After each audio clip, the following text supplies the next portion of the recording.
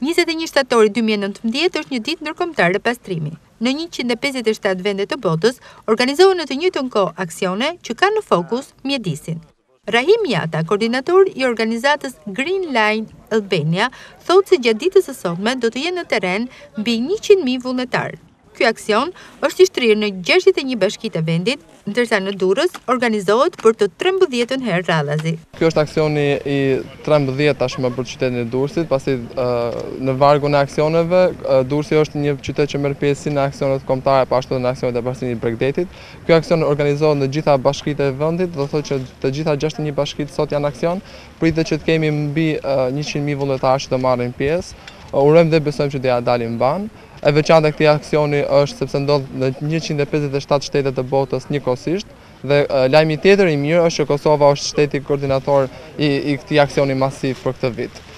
Paraditen e sotme, në qytetin bregdetar, në pikat e përcaktuara më parë, në terren kanë qenë të pranishëm një numër i lartë vullnetarësh që i janë bashkuar kësaj nisme që ka si qëllim pastrimin e territorit. Pjesëmarrëse në aksion ka qenë edhe kryetarja e bashkisë, Valbona Sako.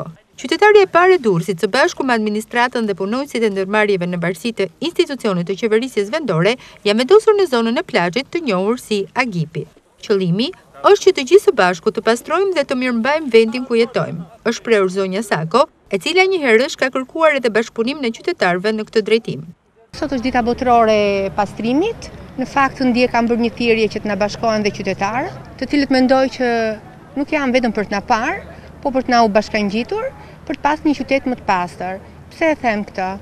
Qyteti jonë ka një shtrirje shumë të madhe, siç e shikoni mbrapa janë strukturat e Bashkisë Durrës, është në një ditë pushimi, jo e detyrueshme, po është një thirrje në kuadrin e ditës botërore të pastrimit. Sot një ditë e bukur Pse mos jemi dhe pastër me këtë qytet?